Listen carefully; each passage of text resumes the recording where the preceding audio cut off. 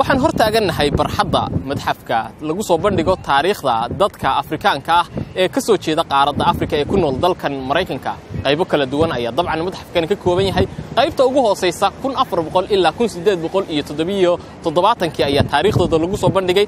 Qaybtaas oo si weyn uga hadlaysa is-addoonsigii iyo weliba sidii afrika dadka looga soo qaaday taariikho badan oo arrimaha ka hadlaya. Qaybta ku xigta ayaa ah kii ilaa laga soo gaadho adii xilligaas oo bulshada maraykanka ay ku noolayd kala qoqob iyo kala faquuq gaar ahaan dadka cad iyo dadka madow in aanay xitaa gaadiidka wada raaci jirin. kii iyo wixii ka dambeeyey ayaa qayb kale lagu soo bandhigaya oo gaar ahaan sidii looga baxay faquuqaas iyo in la gaadhay in madaxweyne maraykan ah oo dad badan aanay ku riyoon jirin inuu haatan ka soo jeedo qaaradda afrika madxafkan ay ku kaydsan tahay taariikhda dadka afrika ka soo jeeday dalkan maraykanka. Wuxuu kaabiga ku hayaa aqalka cad ee looga arrimiyo dalkan maraykanka. Sidoo kale waxa uu dhinaca ku hayaa taallada ay caanka ku tahay magaaladan washington. Madxafkani wuxuu ka tarjumayaa taariikh iyo marxaladaha kala duwan ee ay soo mareen dadka madowga ah ee ka soo jeeda qaaradda afrika waxaa ku kaydsan in ku dhow toddoba iyo soddon kun oo shay oo laga keenay meelo badan oo caalamka ah oo qaaradda afrikana ay ku jirto. Hirgelinta madxafkani wuxuu maanka dadka madow ka guuxayey boqolkii sano ee ugu dambeeyey hase ahaatee waxay riyadaasi rumowday markii uu kongareeska maraykanku ansixiyey islamarkaana uu qalinka ku duugay sannadkii labada kun iyo saddexda. Madaxweynihii xilligaas xukumayay dalkan maraykanka george w. Bush waxaase xiise gaar ah yeeshay in uu dhammaaday madxafkani xilli uu aqalka cad ka arrimiyo madaxweyne madow ahi waa barack obama. Taariikhda mucda weyn ee ku kaydsan madxafkani waxay ka soo bilaabmaysaa xilligii addoonsiga dadka madow iyo sida qaaradda afrika looga soo raray dad gaadhaya ilaa laba iyo toban milyan oo qof oo qaybo badani ay badda ku dhinteen waxaa madxafkan yaalla katiinadihii iyo silsiladihii lagu xidhi jiray dadka madow ee laga soo qaaday qaaradda afrika. Inta badweynta laga soo gudbinayo ilaa laga keenayo goobo lagu hayo dadka madow oo ku yaalla gudaha dalkan maraykanka. John franklin wuxuu ka mid yahay mas'uuliyiinta sarsare ee madxafkan wuxuu tobankii sano ee ugu dambeeyey gucle ugu jiray sidii ay riyadani u rumoobi lahayd franklin ayaa sharaxaad ka siiyey taariikhda ku kaydsan madxafkan weriyayaal ka socday qaybta afrika la hadasha ee idaacadda v o a oo dhowaan booqday madxafka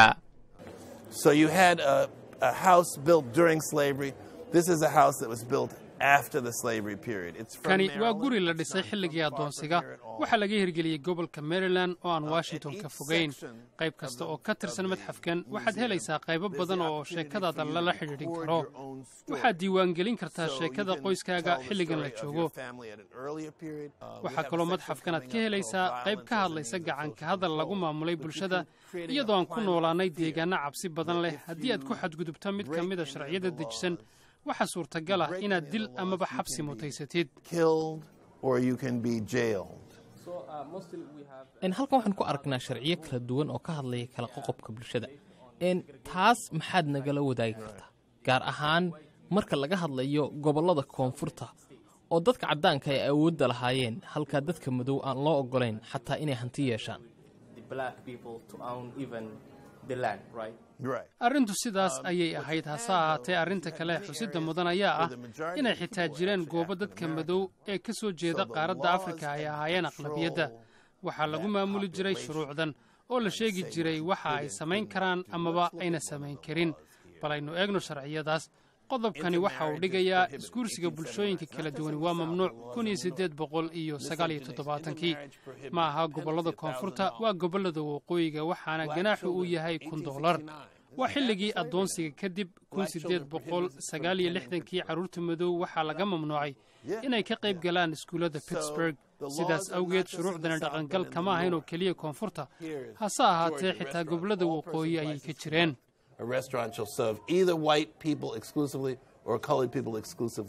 tusaale ahaan gobolka georgiya oo kale meheradaha ganacsigu waxay u adeegi karaan dadka caddaanka oo keliya amaba dadka midabka kale leh. Isla qol adeeg looguma fidin karo dad caddaan ah iyo kuwa madow ah.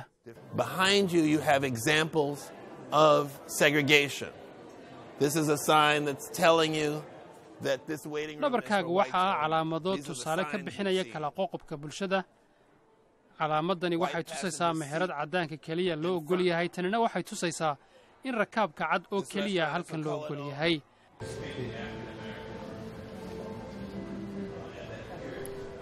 halkani waa qaybta ugu hoosaysa madxafka. Hareerahaaga haddii aad jalleecdona waxaad soo xasuusanaysaa taariikho hore oo murugo badan xambaarsan tusaale ahaan katiinaddan waxaa lagu xidhi jiray dadka madow xilliga laga soo qaadayo qaaradda afrika. Alaabooyinka halkan yaalla badankoodu waxay ka tarjumayaan taariikho badan oo murugo xambaarsan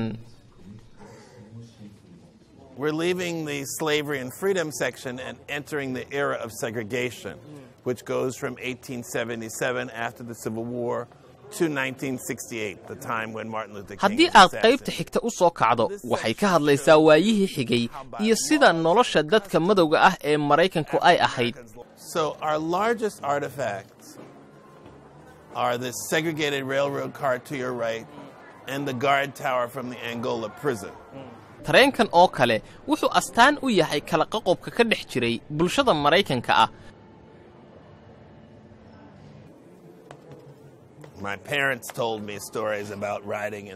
waalidiintay ayaa in badan iiga sheekeeyey kala qoqobkii ka jiray tareennada aabbahay ayaa ii sheegay in xilligii uu raacay tareen kaas oo qayb ka mid ay saarnaayeen dad madow.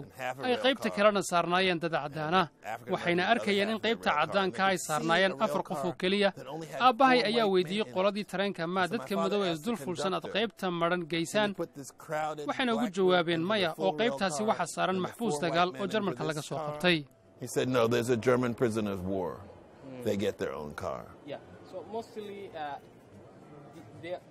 ma maalmo ayay tareenka ku safri jireen isagoo kala qaybsan? Haa gaar ahaan koonfurta washington laakiin waqooyiga washington. Halka aad rabto ayaad fadhiisan kartay. Laakiin marka tareenku uu soo gaadho washington ayaa laguu sheegayaa. inaad fadhiisato qaybta dadka madow loogu talagalay way kala duwan yihiin suuliyadu sidoo kale goobaha la dhigto shandadaha iyo weliba meelaha cuntada lagu cuno. Bishii februari kowdeedii sannadkii kun sagaal boqol iyo lixdankii waxaa makhaayad ku taalla magaalada greensboro ee gobolka north carolina soo fadhiistay afar wiil oo madow ah. Waxay fadhiisteen miis loogu tala galay in dadka caddaanka ah oo keliya ay wax ku cunaan. Si anshax ka muuqdo ayay dalabkooda u dhiibteen.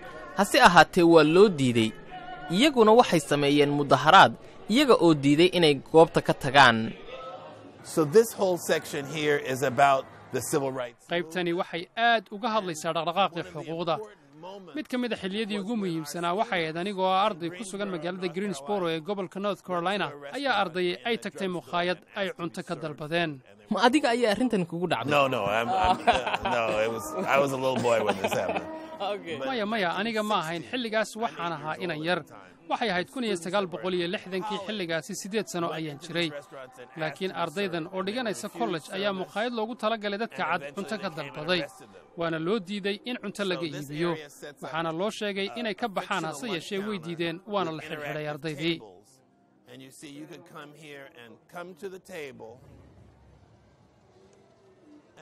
halkan waxaa laga sameeyey miis arrintaasi ka turjumaya waxaanaad arkaysaa qaar ka mida muuqaaladoodii sida iyagoo ciidanku ay xidhayaan. actually protesting. You see the police behind them, and you see people pouring things on top of their head because they refuse service. At the sidoo kale waxaad daawan karaysaa muuqaallo xilligaasi la qaaday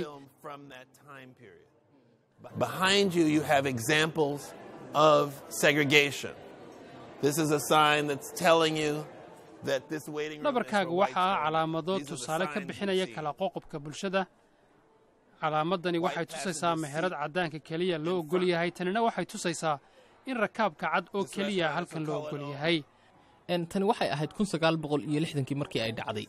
Sidoo kale waxaa jirtay in sannadkii kun sagaal boqol saddex iyo lixdankii ay ilaa laba boqol iyo konton kun oo qof ay isugu yimaadeen washington iyaga oo sameeyey socod ay ka qayb qaateen bulshooyin kala duwan ee dalkan maraykanka waxayna ku raadinayeen dhaqdhaqaaq xorriyadeed. Arrimahani xidhiidh may lahaayeen Yes, very much so.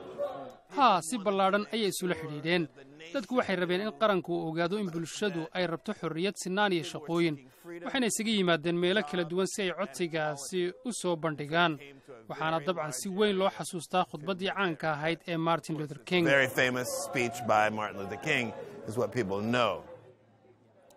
kala qoqobka bulshadu sidoo kale waxa uu saameeyey gaadiidka tareenka oo kale waxaa loo qaybiyey laba dhinac. Dhinac caddaanka ayaa raaci kara dhinaca kalena madowga. Xitaa waxay lahaayeen musqulo kala duwan si aynaba u kulmin.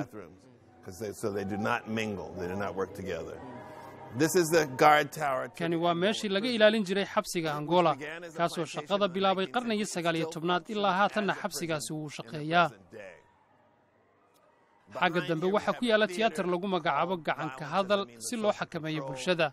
Sheekooyinkan murugada leh ee kiciyey kacdoonkii xorriyadoonkaha waxaa ka mid ahaa dilkii emetel waxa uu ahaa wiil afar iyo toban jira oo ka tegey shikaago waxa uu booqanayay eheladooda oo ku nool missisipi emet ayaa lagu eedeeyey inuu faduuliyey gabadh caddaana arrintaasi oo ka cadhaysisay bulshadii caddayd habeenkii ayaa loo soo dhacay waana la dilay. Meydkiisina webiga ayaa lagu tuuray.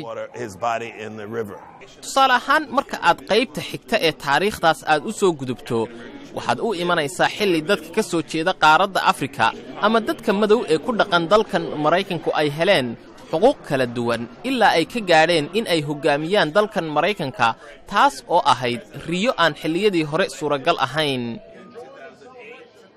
Marka aad taariikhdaas soo dhex marto oo aad timaaddo qaybtan ugu dambaysa eena haatan taagannahay waxaad u imanaysaa xilli madaxweyne madow ahi uu ka arrimiyo dalkan maraykanka.